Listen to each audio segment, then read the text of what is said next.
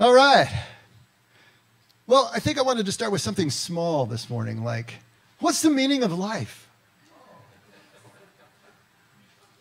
What's the meaning of life, the universe, and everything? 42. See, nobody gets that anymore. Yeah, Hitchhiker's Guide to the Galaxy, really? No? Yeah. Okay. And if you're if you're a City Slickers fan, then the meaning of life is one thing, right? And if you're a James Taylor fan, the secret of life is enjoying the passage of time, which isn't too bad, actually. I like that. But if we really want to know what the secret of life is, the meaning of life, I think Jesus is giving us some pretty good clues in what we're going to talk about this morning. And so let's see if we can dig a little deeper and see if Jesus can give us what he sees as a foundational aspect of what this life is all about. We've been talking about healings. Uh, we've been going through uh, primarily from the end of Mark 1 and over into across the bar line, across the, the border into Mark 2, where Jesus does three healings in rapid succession. In fact, one right after another. There's no break in between. And as we've talked about, when you see stories or, or images that are juxtaposed, that are placed in proximity right next to each other. It's because they're supposed to be understood together. Often they redefine each other, they reinforce the meaning of each other, but we need to take a look at them together because they're trying to tell us something that needs to be reinforced. You know, just like when you hear something for the third time, it's like it really starts to sink in. You hear it, you hear it again, it's like, oh, where did I hear that before? And then you hear it a third time and it starts to sink in. Sometimes this repetition, which is part of Jewish poetry as well, makes a big difference. And it really allows us to sink deeper. What is Lectio Divina about? But hearing something successive times and being able to sink deeper and deeper into the meaning of it. So, was it three Sundays ago? Um, we uh, talked about Jesus healing the leper. Leper comes to Jesus, calls him over. If you're willing, you can declare me cleansed. You can cleanse me. And uh, Jesus touches him first and then heals him. Last Sunday, the paralytic is lowered through a hole in the roof. They actually dig out a hole or they pull back the awning. We don't know which, but at any rate, they can't get in through the front door because the house is so jammed. And so they, they put him in through the roof. And Jesus first says, Son, your sins are forgiven. And then he heals him. Jesus is always out of order from our point of view, right? Always something going on there. Today we're going to talk about the call of Levi. And even though Levi doesn't get a physical healing, he gets a spiritual one. And I think that's really the focus of all of these three. When we look at them together, they are much more about the spiritual healing that is taking place rather than the physical healings. And I would say that probably goes with everything in the Bible, everything in the Gospels.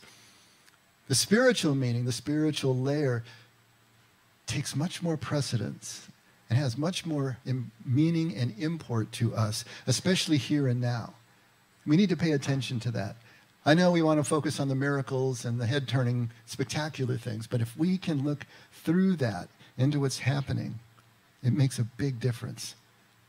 Now, the first thing that we notice from all of these three individuals the leper, the paralytic, and the tax collector, because Levi's a tax collector, is that they're all outcasts. Right? Now, the first two have a physical malady that has pushed them out of society. Leprosy, we talked about how they had to be outside the city walls, they couldn't come close, they had to mask up and they had to distance and do all that, and they could not be a part of the community anymore. But the paralytic was much the same. As soon as you were out of balance, as soon as you had some sort of physical malady like that, the Jews understood that to be the result of sin. And so that required repentance, that re- required healing, that required uh, a ceremony and a, and a, ritual purity ceremony that would take place at the temple uh, with the priests. And so they are outside the community as long as the visible signs of their ailment uh, are open to all. Now, the tax collector has a moral malady rather than a spiritual one. And we need to take the, the tax collector, the tax man, and put that person into this context because it's so much deeper. I mean, who really likes tax collectors? I mean, do you really like tax collectors? Does anybody like tax collectors? But in this society, at this time, it was really at a whole different level. Tax collectors were understood as beasts with human form. That's the way that they were actually referred to. They were also referred to as licensed robbers, which actually was pretty true in, in most cases. But they were put on equal terms with prostitutes and with gamblers and thieves, drunkards, and dishonest herdsmen. Something you don't hear every day, but, you know, cattle rustlers, right? They're put on the same level as all of those people. Uh, in the rabbinical writing that is uh, current, concurrent with the time, there is no hope for the tax collector, no hope for the taxman. They are excluded from all religious and secular community, completely on the outside. That means they can't buy or sell, they can't, they can't connect with anybody who is uh, of Jewish extraction who is living within the law. They can't have anything to do with them. Which means, in order just to be able to go buy your groceries, he had to go to the Greek part of town because they didn't care, right? But he couldn't do anything with his Jewish countrymen. So even their money that he had, his money was unclean. If he gave you money and you touched the money, that made you ritually unclean. You had to go to the temple, you had to go to the priest and get yourself cleaned up. It defiled anyone who was touching it. He couldn't serve as a witness in the court. Couldn't basically do anything, completely excluded. Now, why was this so severe in that culture? These tax gatherers, these tax collectors were hated as allies with Rome. Remember, this is the time of the Roman occupation. By the time Jesus is on the scene, it had been going on for about 70 years or so. And so the Roman occupation is well driven into the national consciousness by at least two, three generations by this time. They saw the tax gatherers as allied with the Romans, and they were a reminder of the Roman occupation. And now, you know, many or most of them were dishonest because they were licensed robbers. They had a license to kill. They had a license to uh, to mess with the people. And when you think about it, who else would take a job like that that they knew was going to put them on the outside of their own people? And so, yes, they were they were kind of a fulfilling prophecy. And which came first, the chicken or the egg, right? Now, this tax system of the Romans is really complicated. We tend to think of the ancients as being primitive. But they were anything but. These high civilizations, the Greco Roman civilizations, the Babylonians, the Assyrians, any of these ancient civilizations were highly sophisticated and highly complex. They rivaled anything that we've got now. The only thing that separates us from the ancient peoples are technology. You know, they had bows and arrows, we've got laser guided missiles. But when you look at the systems, when you look at their government, when you look at their taxes, I mean, it reads just like anything that we are dealing with now. So there is no separation there. So the people's feeling toward these tax gatherers, because the taxes were so usurious, because there was so much corruption, is understandable. And then you add to it that they were occupied by Rome, it just ups the ante because they believed that they were supposed to be a sovereign nation. God promised them a sovereign nation. And here they were for nearly 400 years under the boot of successive regimes that have come through. Now, Rome is an interesting one. Rome didn't really have, it's sometimes been called the empire without a soul, the civilization without a soul, because they really didn't have a guiding philosophy the way the Greeks did, or even the Assyrians or the Babylonians. So when they conquered a people, their main objective was a revenue source. You could continue to practice your own religion, you could continue to have your own culture, as long as you paid tribute to Rome, as long as you didn't cause any problems, as long as you kept the peace, as long as you let the army do what it needed to do through your lands, and most importantly, you kept that revenue flowing. Rome was a beast that constantly had to be fed. And so that source of income was so important. So what they did in the areas that they conquered would they would license out or they would sell the positions of the tax collector. You, you could think of it as a franchise. You know, you get a franchise. We just got a Popeyes down in South County. So there, you know, Popeyes, you get a franchise and you open it up. Basically, that's what's happening. They're franchising out this position of tax gatherer, which was going to be very lucrative for the people who did it, to locals. Now, these weren't Romans who were carrying this out. These were local people who would get a license to be the tax collector for Rome. All right? Now, there were chief tax collectors, and they were in charge of entire districts. Zacchaeus, you might remember Zacchaeus, the story of him, he was a chief tax collector. They were the ones who had the primary contract with Rome. They got all the big bucks, and then they would hire tax gatherers underneath them. Now, there were two types of taxes there were direct taxes and indirect taxes. And the direct taxes were collected by those called Gabai. That was, that was their name. Now, what are direct taxes? Those would be income taxes. Real property taxes, which would include not only as we think of as homes being real property, but this would be the land primarily and the produce, the crops and the herds and everything that was on the land. You pay taxes on that as well. And then you had a poll tax, which was kind of a, a head tax. You just paid that because you were alive. And if you were a woman, you were between the ages of 12 and 65. And if you were a man, you were between the ages of 14 and 65. Boys got a little bit later start. But anyway, your productive years. So you paid a tax just because you're alive and breathing in the Roman Empire between those ages, regardless of your income, regardless of any real property you have. Now, those direct taxes, they were pretty state. There was a schedule of those taxes. And so Everybody knew what they were, knew what they had to pay, and the Gabai would collect them. But then the indirect taxes were different. The indirect taxes were the tolls. Think of toll roads. Kind of hate those too, don't we? The toll roads. But you had toll roads, you had duties, you had market fees, and these were collected by a different group of tax collectors called mochs. And these were the, the tax gatherers that were really, really despised, much more than the Gabai much more than the chief tax collectors. Why was that? Because the these indirect taxes were kind of at the discretion of the tax gatherer. They could set tolls on roads and bridges. And they could set them the way they wanted to. They could set tolls on the beasts of burden, the animals that were carrying the carts. They could set tolls and taxes on each axle they could set tolls and taxes and tariffs on everything they wanted and every item. And so these toll booths were set up on major trade routes, and everybody who came by was stopped by the tax gatherer.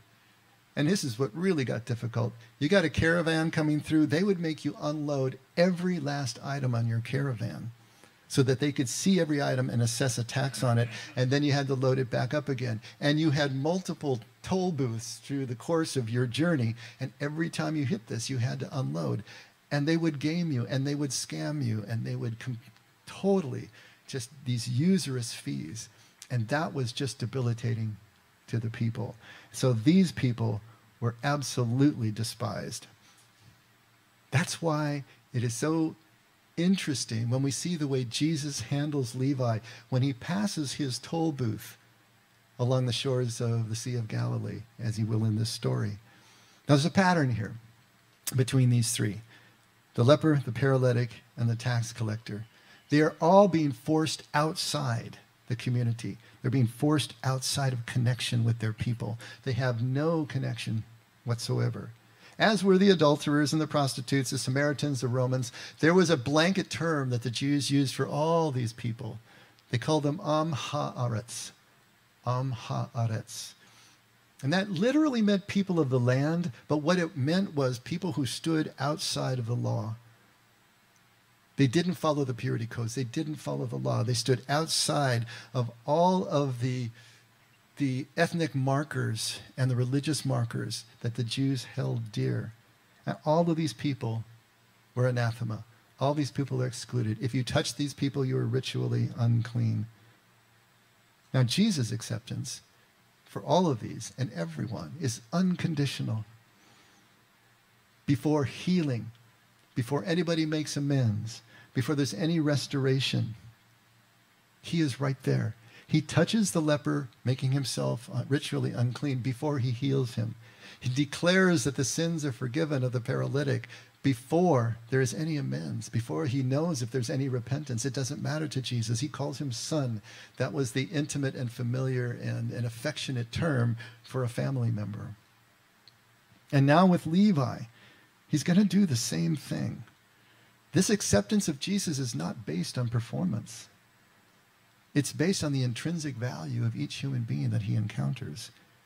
Each human being has his acceptance, has his love, has his attention, regardless of who they are, regardless of how far outside the law they stand. So let's take a look and see what Jesus does with Levi, starting at Mark 2, verse 13. And he went out again by the seashore, and all the people were coming to him, and he was teaching them. As he passed by, he saw Levi, the son of Alphaeus, sitting at the tax booth. And he said to him, Follow me. And he, Levi, got up and followed him. Another story, just here's the call and here's the response. Now, we talked about this a few weeks ago where there was a building up to this. Most likely, people knew Jesus. They had a chance to get to know him before they just blindly followed him. But here is that response to a call. When Jesus calls them out into deeper water for that miraculous catch of fish, there's a spiritual part of it. He's being called out to something deeper, and he responds. Now, here's the parallel in Matthew 9, verse 9, as Jesus went on from there, he saw a man called Matthew sitting in the tax collector's booth, and he said to him, Follow me. And he, Matthew, got up and followed him. And then in Luke 5, another parallel. And he left everything behind and got up and began to follow him. And Levi gave a big reception for him in his, in his house. And there was a great crowd of tax collectors and other people who were reclining at the table with them. Okay, so here in the three synoptic gospels are the same story being told. Now, you probably noticed something right off the bat, right? What's his name? now, Mark calls him Levi, the son of Alphaeus. Matthew calls him Matthew. And Luke calls him Levi. Just Levi. No last name. So, which is it? Is it Levi or is it Matthew? And does it really matter? Well, just to, you know, just to fill in some blanks here, Traditionally, the church has understood that Levi and Matthew were the same person. And there's no really explanation why he's called Levi and why he's called Matthew. And so you have these three synoptics calling him by different names. There is no Levi listed in the list of apostles that uh, Matthew gives us in chapter 10. But in chapter 10, verse 3, there is a James, son of Alphaeus, that is listed as one of the apostles. And in variant manuscripts that were not canonized, they didn't make the canon, this James is called the tax collector that would correspond with these canonical stories. So you've got Levi, you've got Matthew, and you've got James now, all kind of vying for this position. Is it the same person with just different names? Is it different people that have different functions? Are Levi and James brothers because they both are listed as the son of Alphaeus? And of course, we can't know. There's no way for us to be able to, to untangle this. But I suppose the traditional view is as good as any that Levi and Matthew are referring to the same person. And, you know, this is one of the vagaries of the Gospels and ancient uh, sacred texts. You know, they aren't writing the way we would want to write something that was absolutely accurate in every aspect. They're doing it for different points of view and different perspectives. And of course, they're playing with accuracy to be able to get across deeper spiritual truths. And I think that's really what's at play here. The most important thing for us is not the identity or the name of this person, but the call and the response. That's what we need to take a look at. And the nature of that call. And the nature of that call in the context of a tax collector. That's really the big piece. Jesus says to follow me without condition. He doesn't, he doesn't, we don't know if there's any relationship between him and this person. He must have passed that toll booth several times because that was his base of operations, was around Capernaum and around the north shore of the Sea of Galilee. And so wherever this was, he had probably passed several times and had a chance to observe him. But without any condition on his part. Matthew's still doing his job. We don't know how honest he was about doing his job, but he was still doing his job. And Jesus just calls him, Follow me. You kind of get the impression he's already past the booth and he's kind of looking back over his shoulder. Hey, want to follow? Come on, let's go. And he arises. The interesting thing about the word that is used there for arise, it's the same word that is used when Jesus arises on Easter Sunday. That resurrection, he arose, is the same word that's here. Matthew, Levi arises out of that tax booth and leaves everything behind. Can you imagine the scramble for all the stacks of money that maybe were on that booth? Because he just leaves and leaves it all there. The confusion. how happy the caravans that came right after would be. There's nobody in the booth. But he just arises and he leaves everything. The way that the disciples on the shore left their nets, just dropped everything and followed Jesus. That relinquishment of old ideas, that relinquishment of old ways, moving into something new. We always want to think of this from a spiritual perspective. And then the story of Zacchaeus comes to mind. Remember Zacchaeus, who was a chief tax gatherer, but he was a short guy. And Jesus was coming through, and the crowd was preceding him, and he wanted to have a view of him, so he climbs a fig tree, and he's up in the tree, and Jesus comes in the tree and looks up, Zacchaeus, get down from there. We got to have dinner tonight. Tax gatherer? And here is a, a Jew's Jew who stands well inside the law saying, We got to have dinner tonight. Could you imagine the consternation? Could you imagine the whispers and the sideways glances that are going on when he says that? And Zacchaeus can't get down off of that tree fast enough. And he immediately says, You know what? I'm going to give half of everything I own to the poor around me. And anybody that I have cheated, I'm going to repay them four times. Now, Jesus must have known that he was an accident waiting to happen. He must have known that he was right here, right ready, right? And all he needed was the slightest provocation. But there was still no ritual restitution here. There was still no ability for Jesus to come into his company, take food from his hand without becoming ritually unclean. But this is another part of the story. These happen over and over and over again. That leitmotif is there, right? That overarching pattern is there over and over again of Jesus' unconditional acceptance. And so Levi does the same thing. He gives a great big dinner party for Jesus. Let's take a look at Mark 2, starting at verse 15. And it happened that he, Jesus, was reclining at the table in his, Levi, Matthew's house. And many tax collectors and sinners were dining with Jesus and his disciples, for there were many of them. And they were following him. And when the scribes of the Pharisees saw that he was eating with the sinners and the tax collectors, they said to his disciples, Jesus' disciples, Why is he eating and drinking with the tax collectors and the sinners? And hearing this, Jesus said to them, Is it not those who are healthy? It is not those who are healthy who need a physician, but those who are sick. I did not come to call the righteous, but sinners. Beautiful line there. Jesus always has the greatest replies, doesn't he? So here's this large crowd. Who is that? Who is in this large crowd at dinner? You're not going to find any Pharisees in there. You're not going to find people who are assiduously following the, the Jewish law in there. You're going to find a lot more tax collectors. You're going to find more Am right? Those who stand outside the law. They're the ones who would be in a house like that, taking food from someone like Levi from Matthew. No one following the law could even enter the door without becoming ritually unclean. And yet, many or most of those sinners, quote unquote, who are in there were also following Jesus. They were following Jesus. They weren't following the law, but they were following Jesus. Amazing. Jesus recognizes this, of course.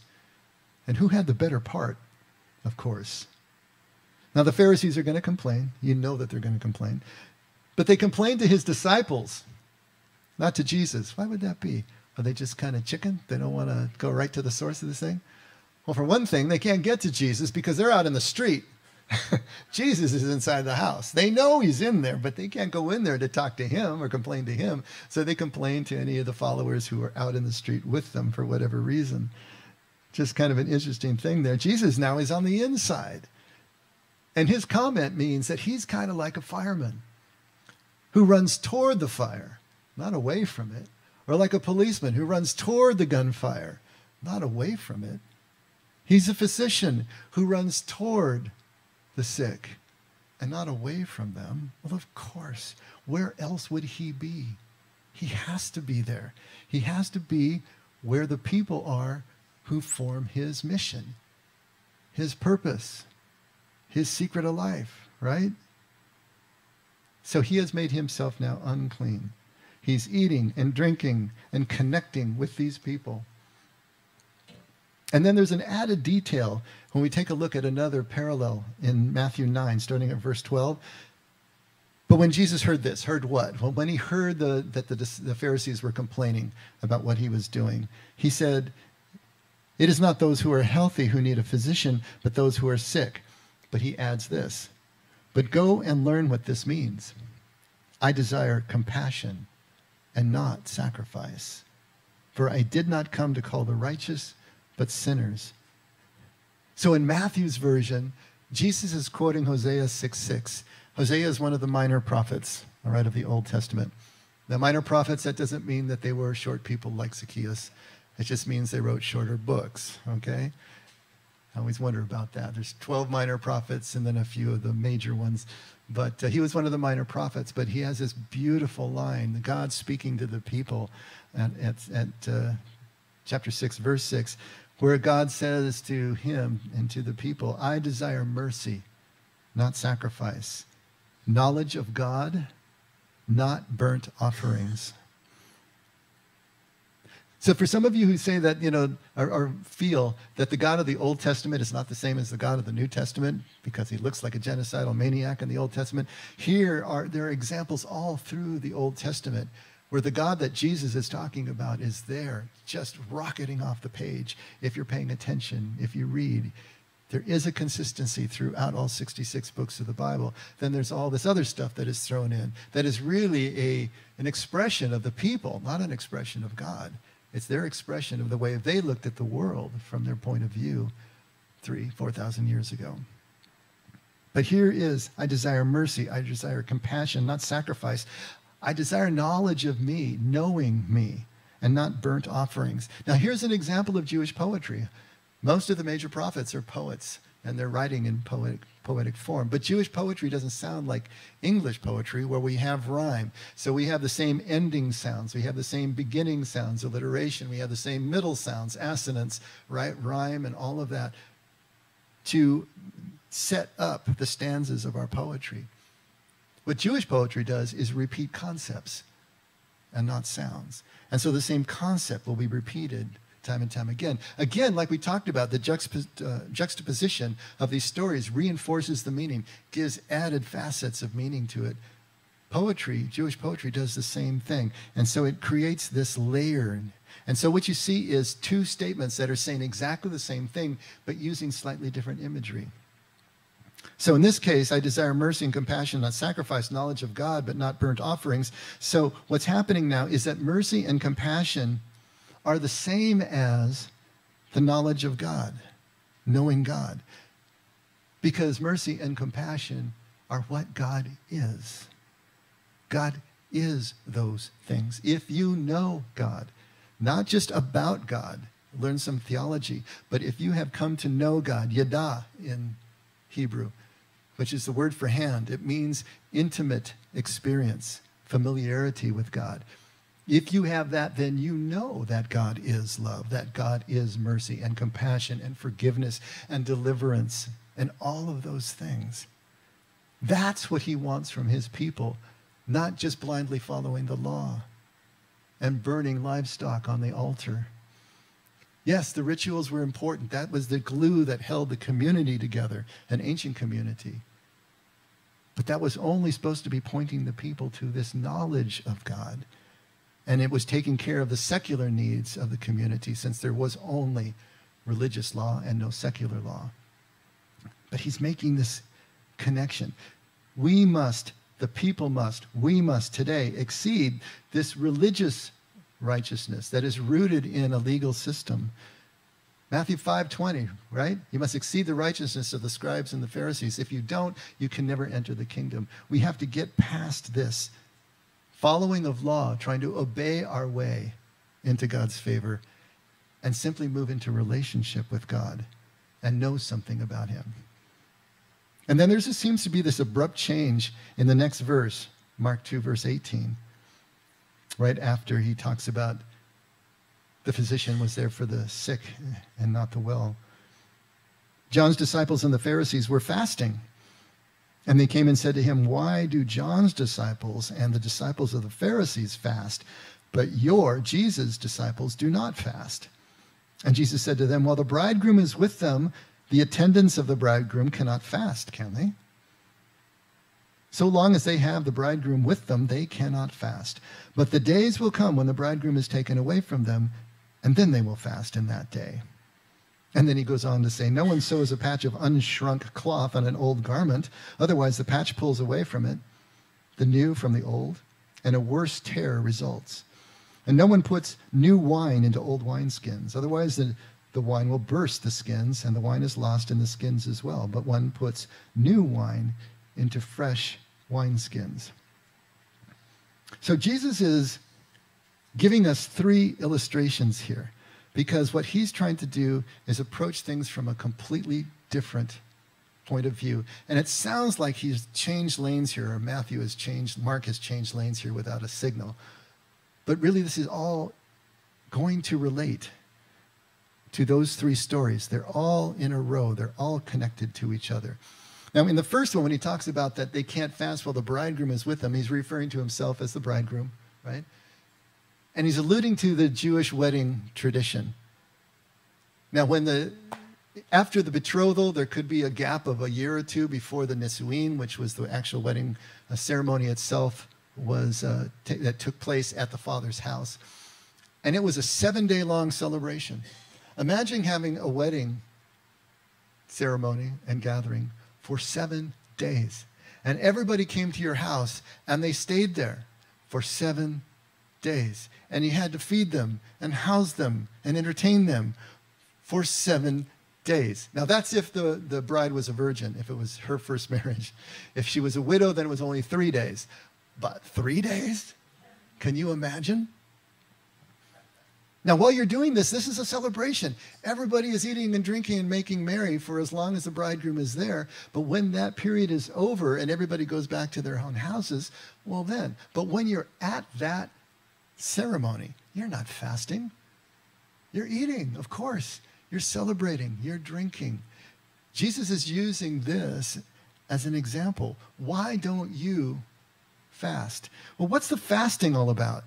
And you think about it, fasting is the body's natural reaction to loss, right? To trauma, to a longing for something. When you're really going through a loss, when you're going through a grieving, are you, are you really feeling hungry? Do you really want to eat? The body kind of shuts down. And so fasting became associated with grief.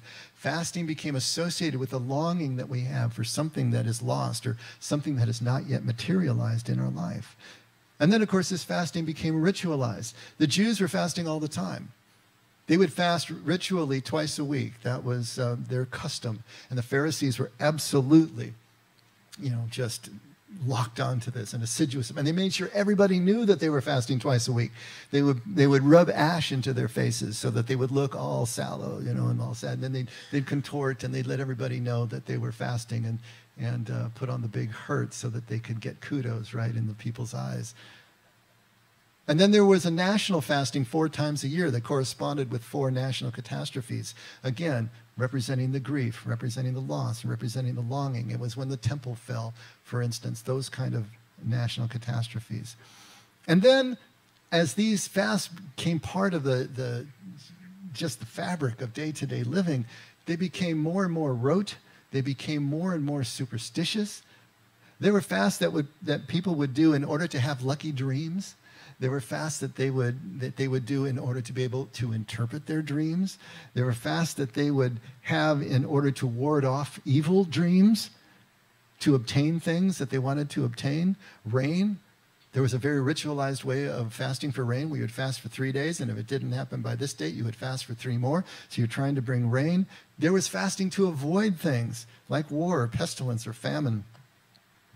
And all of these became part of the fabric of people and they understood fasting and they were doing this and they wanted to know why Jesus and his disciples are not doing the same thing because he's approaching things from a completely different perspective.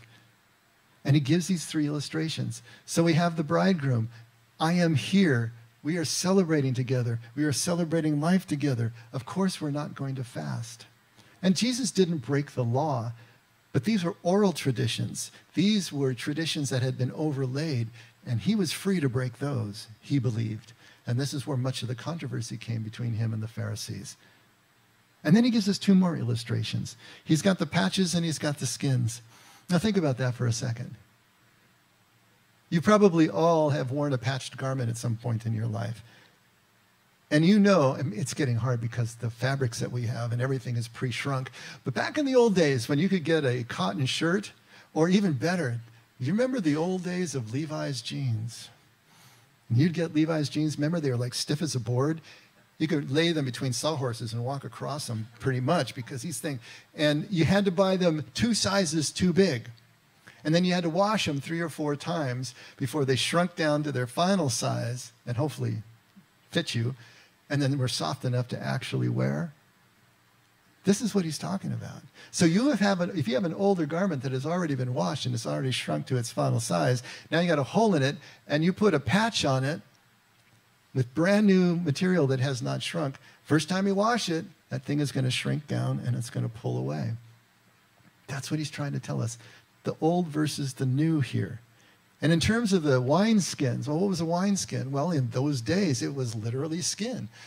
They would take animal skins and they would stitch it together tight enough to make it waterproof, or they would actually use the bladder of, of their domesticated animals, a sheep or whatever, goats, and they would fill that with new wine. What was new wine? Wine that hadn't fermented yet. Basically, you'd put the grape juice in the wineskin and you'd let it ferment. But when something ferments, it expands. You got the bubbles as the alcohol is being produced. And if you have an old wineskin that has already gone through that process, that means it's already been stretched out. A new skin will stretch with the expansion of the wine. And then you put more new wine in that already stretched, it's going to burst and it's going to lose everything. And so Jesus says you need new wine, right? You need already shrunk fabric to be able to put into these. What is he talking about here? What is he trying to get us to understand that you can't attach, you can't add Jesus' way of relating with God and to the Father into a legal mindset. It doesn't work. Perfect love is never going to be compatible with the law, even with justice. And I don't know how that even sounds to you now. But perfect love is absolutely unjust. It always unbalances the scales of justice, always in favor of the beloved. That's what it does. It is indiscriminate. It doesn't care about performance. It doesn't care whether you are under the law or not. The sun and the rain falls on the just and the unjust alike. Jesus is saying you can't mix these two. If you have a legal mindset, there is no way that you can patch that with perfect love. There is no way that you can put perfect love into a container like that because it's going to burst. We have to be flexible enough, expandable enough in order to be able to connect with what Jesus is trying to tell us. And he's the bridegroom. He's celebrating life as it is. He's telling us that the container must match the content or it's not going to work. Something is going to get torn. Something is going to get burst. Something is going to get ruins. He's saying that the means that we use must match the ends that we seek, or it's never going to work. He's telling us that we're never going to be able to get to the good news if we're living as if the news is bad. If we're living as if we have to perform in order to get the fish from God. If we're living as if God is just waiting to damn us to hell if we don't step up to this line of the line after. Then we are never going to get what Jesus is talking about. It's never going to work. But on the other hand, we know that life is hard. It's not a cakewalk, right? We can't be celebrating all the time like Jesus and his followers. So, what are we supposed to do? Are we just supposed to pretend that it's not all that bad? We know that we've made a mess out of our lives. We know what we have done to destroy relationships. Are we supposed to just ignore that or pretend that it didn't happen? I wanted to read a couple paragraphs from one of Brother Lawrence's letters. We've been reading these letters, of course, in our book study on Wednesday nights. This is his fifth letter, and it was a letter that was written to someone that he knew. But listen to what he says. Listen to, again, the juxtaposition, the paradox of what he's bringing out. He says, As for what passes in me at present, I cannot express it. I have no pain or difficulty about my state because I have no will but that of God. which I endeavor to accomplish in all things, and to which I am so resigned that I would not take up a straw from the ground against his order, or from any other motive but purely that of love to him. I have quit all forms of devotion and set prayers, but those to which my state obliges me. Get that? So in the rule of his house, all these different prayers and devotions, singing, spiritual directors, he stopped it all, except the ones that he absolutely needed to go to. He didn't need them anymore. He was like one of those desert critters that gets all the water it needs from the food it eats. He was already doing that. He didn't need those extras. I make it my business only to persevere in God's holy presence, wherein I keep myself by a simple attention and a general fond regard to God, which I may call an which I may call an actual presence of God, or to speak better, an habitual, silent, and secret conversation of the soul with God, which often causes in me joys and raptures inwardly, and sometimes also outwardly, so great that I am forced to use means to moderate them and prevent their appearance to others. In other words, he gets happy feet and he can't control it. Remember what was it, Steve Martin, Happy Feet? In short, I am assured beyond all doubt that my soul has been with God above these 30 years. I pass over many things that I may not be tedious to you, yet I think it proper to inform you after what manner I consider myself before God, whom I behold as my King. Listen to this next. I consider myself as the most wretched of men full of sores and corruption, and who has committed all sorts of crimes against his king, God. Touched with a sensible regret, I confess to him in all my wickedness. I ask him his forgiveness. I abandon myself in his hands that he may do what pleases him to do with me. Now, riddle me that.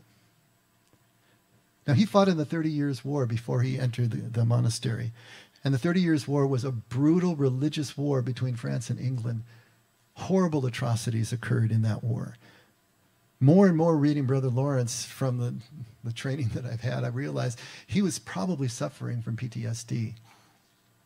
The, the, what he saw in that war, maybe what he participated in in that war, haunted and scarred him and caused him to consider himself in this state even though he was experiencing what he was experiencing from God, he still says, I'm the most wretched of men.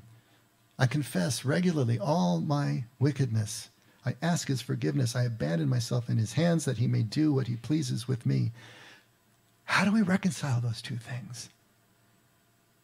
He has this view of himself, and yet he continues to experience what he experiences from God. He's looking to God for punishment. He's looking to God for suffering over and over in his letters and his writings. He can't understand why he's not suffering. He wants it. He wants expiation from, for his sins. He feels that he's going to have to go to purgatory and pay for his sins there because he's not paying for them in his life here on earth. You know?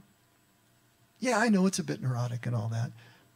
It also reflects Catholic theology in medieval times in Western Europe. But look where he goes. He says, This king, this God of mine, full of mercy and goodness, very far from chastising me, embraces me with love, makes me eat at his table, serves me with his own hands, gives me the key of his treasures.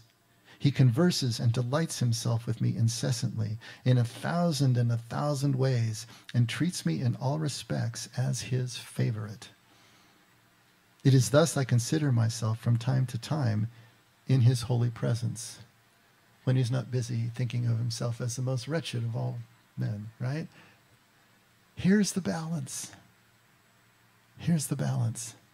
Jesus' mission is to remove the shame, to remove the fear that keeps us from connecting with our God and with each other.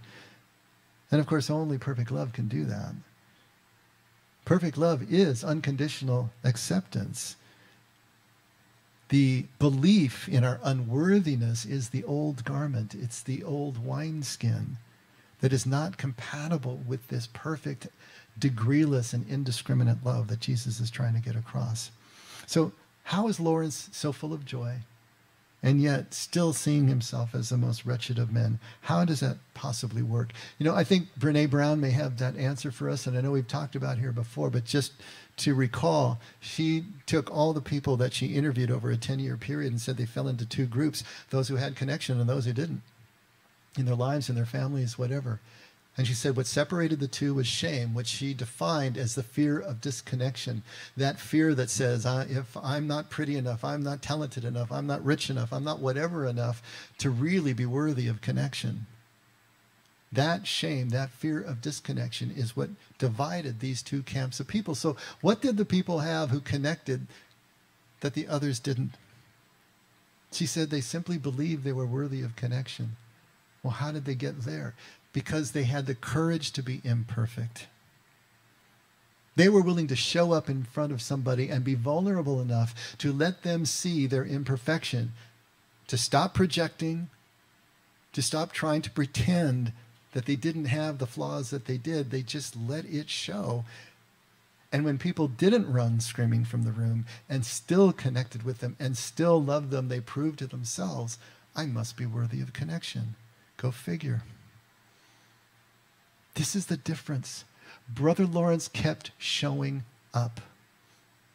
No matter what he felt about himself, he kept showing up to his God, expecting punishment, but getting nothing but continual embraces. David, the beloved of God, look at all he did. From murder to adultery, I mean, just lay it all on him. Always considered the beloved of God. Why? He knew what he did. And he paid the price for that in his own family but he kept showing up to God. And when you show up to God, you're only going to get goodness because that's all God is mercy and compassion and love and forgiveness. That's all you can get from God. We can hold the doubts about ourselves, but if we will keep showing up, vulnerably showing up, God is going to make himself known to us as he did to Brother Lawrence and David and everyone in between to have the courage to be imperfect, to show up in vulnerability. It's in that connection that we experience the joy and the meaning and the fulfillment. But we only can experience that after accepting our own imperfection. We have to accept that. We can't be wishing it away. We can't be fasting it away. We can't be projecting it away. To accept it, to own it. And Jesus is showing us how to do that. This is what he does by accepting us and everyone around him in all their imperfection. To accept them before the healing, to accept them before the amends, to accept them before the restitution, before the repentance. Story of the prodigal son, over and over again. It's the same story. We are accepted in spite of, and maybe because of, our imperfections. And then we can only accept this acceptance, this indiscriminate acceptance from God, after accepting our own imperfection as God already has. The old garment, the old skins represent a static mindset, one that doesn't move, that we have to heal ourselves. It's a legal mindset that we have to perform to a certain level before we are accepted. The new patch, the new wineskin, is a dynamic motion of spirit, of degreeless love that bursts through the shame and allows us to connect. Jesus' whole entire mission is to remove the shame, the fear of disconnection that is the blockage to our connectivity, the blockage to our experience of unity. So, you want to know the secret of life? You want to know the meaning of life? I think it's this that what makes us vulnerable makes us beautiful. What makes us imperfect makes us acceptable, connectable. When you think about the friends that you love the most, you probably love their eccentricities. You probably love the things that aren't perfect. And if you don't know anything imperfect about a person, then they are still on the pedestal. You don't know them well enough. It's when we get to know each other's imperfections that we bond and we connect and we embrace and we love each other. That's it. The secret of life, what makes us vulnerable and imperfect is what makes us beautiful, acceptable, and connectable. And in accepting our imperfection and showing up anyway to connection as ourselves is what ultimately makes us free. It is the truth that makes us free. That's what Jesus is saying. That's the central piece. Just do that, as scary as it may be. Show up and see what happens. Let's pray.